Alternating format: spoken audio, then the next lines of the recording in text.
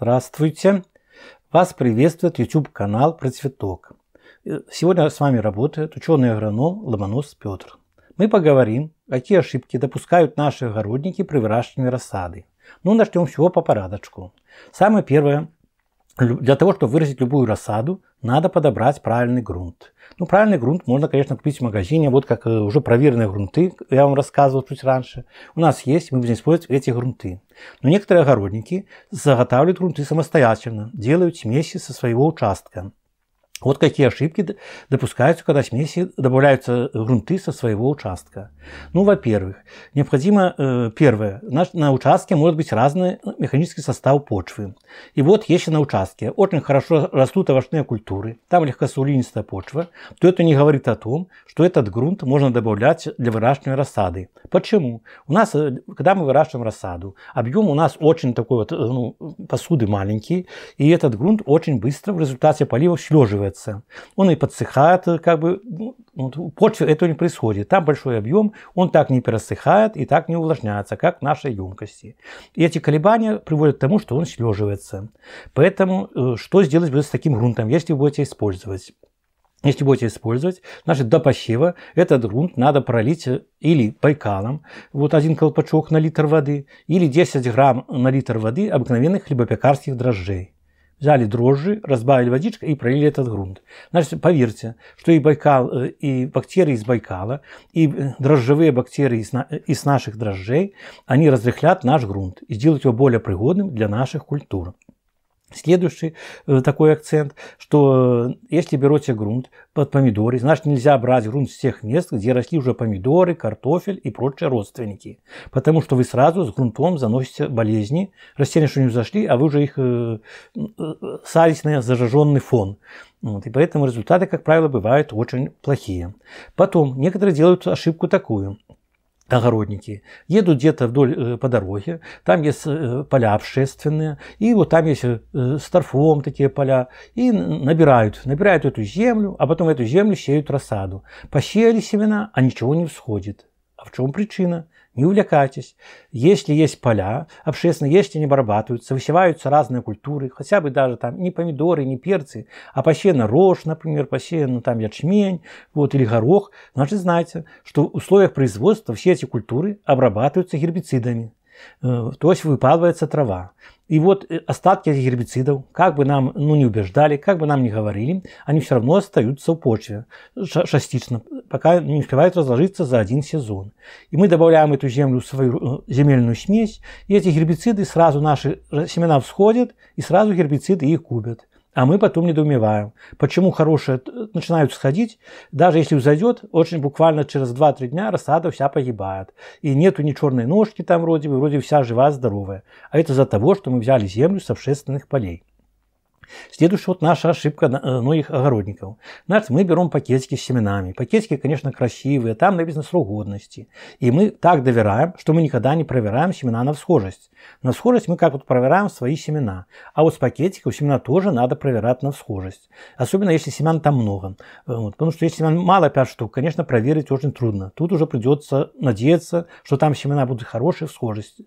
Хорошие всхожести. Ну, как и проверить на всхожесть, мы вам уже рассказывали, рассказывали чуть пораньше дальше. На тарелочку фильтровальная, фильтровальная бумага, разлаживаются семена и наблюдаем, за, как они будут сходить. Вот. Потому что иногда огородники себя винят что вот купили семена, вот, мол, это семена с фирмы, и вот, я, э, и что-то я не так сделал. Они всегда вы, вы э, виноваты. Иногда, хотя и редко, но бывают в этих семена не всхожие. Вот. И не надо себя винить. А вот если вы прорастили, вы бы уже знали, что семена не всхожие. Вы могли бы уже предъявить претензии этой фирме, получить взамен хорошие семена.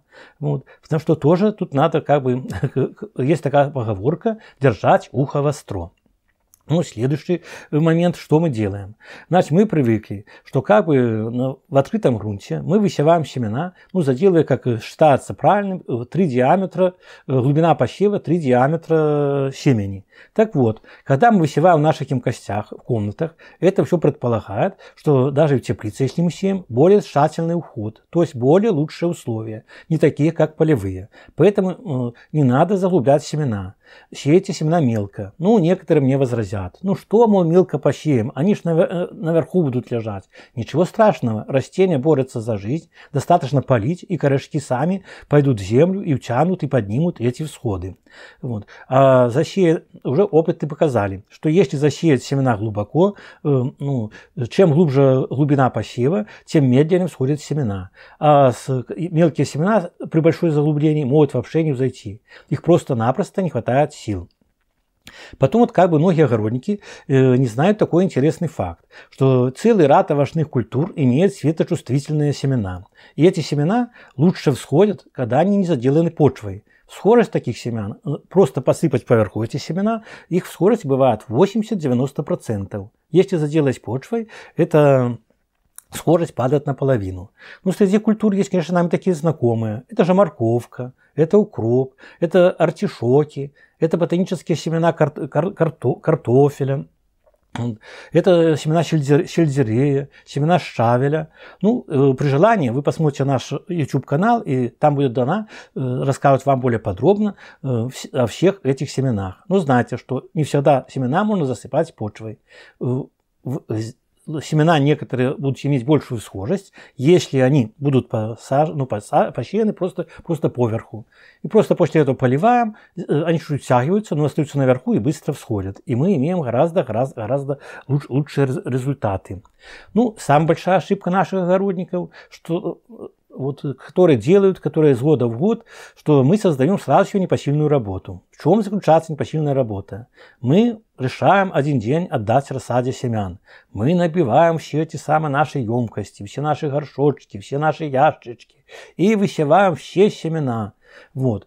Потом семена начинают сходить, и у нас не хватает уже ни сил, ни времени все это распекировать, рассадить. И большая часть схода у нас просто-напросто погибает. Мы их потом просто э, выбрасываем, потому что они так уже сплелись, они такие уже тонкие, что там уже что-то получить толковое нету.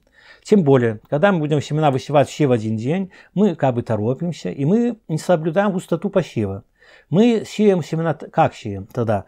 Ну, чтобы быстрее, чтобы все успеть, один выходной день или два выходных дня, мы все должны успеть. И мы сеем, сеем, сеем, и, соответственно, мы сразу э, нашу работу мы обрекаем уже на плачевный результат. А этого делать не надо. Посеяли семена, следующую партию сеем через недельку, потом еще через недельку. Вот. Где-то, может, мы в сроках чуть и опоздаем, но зато мы семена обеспечим хорошим уходом. Во-первых, посеем их редко, они будут хорошие. И семена, э, и сеянцы те нагонят ту рассаду, которая была, была, была посеяна более рано. Потом, что такой, такой вот момент, э, значит, э, по семенах. Многие смотрят так, что есть культуры холодостойкие, есть культуры теплолюбивые, и вот тоже как бы себе задуривают этим уколом. Из своего опыта я скажу, что любые семена, которые вы сеете в комнате, вы давайте температуру гораздо большую, чем положено. Температура 25-30 градусов приведет к тому, что все семена при обеспеченности влагой очень быстро взойдут.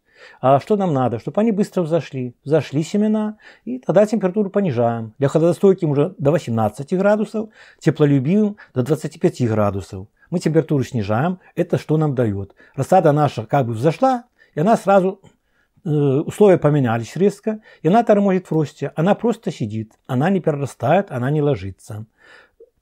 Потом дальше ошибки по семенах. Э, значит, тоже во всех руководствах как бы советуют, что семена поливайте водой комнатной температуры. Вот, а это тоже для семян не очень хорошо. Семена гораздо лучше растут и развиваются, если их поливать водой 35-37 градусов. Ну, температуру, конечно, термометр у вас, я думаю, есть. Вы эту температуру меряете. Поливая семена такой теплой э, водой, мы, значит, э, обогреваем корни, подогреваем грунт, и наши сеянцы будут развиваться гораздо-гораздо лучше. Следующий нюанс, который э, ошибки, значит, э, или ранние, или поздние ошибки в пикировке. Значит, пикировать растения надо в возрасте вот, э, двух-трех настоящих листьев. Ученые ставили опыт. Ну вот это надо вам записать эти данные, просто потому что это все, все потом забывается. Наш опыт э, был по пикировке семян различных э, культур. И что оказалось? Что если сеянцы распикировать в фазе семидолей, приживаемость составляет 80%. Если распикировать в фазе одного-двух листов, проживаемость составляет 90%. А если распекировать в фазе двух-трех листьев настоящих, значит уже проживаемость 96%. Ну а если уже дальше распекировать уже после фазы трех-четырех листов, она опять приживаемость падает до 90%. То есть нельзя пикировать слишком рано и нельзя пикировать слишком поздно. Вот. Поняли, что 2-3 э, листа – это оптимальный возраст для пикирования рассады.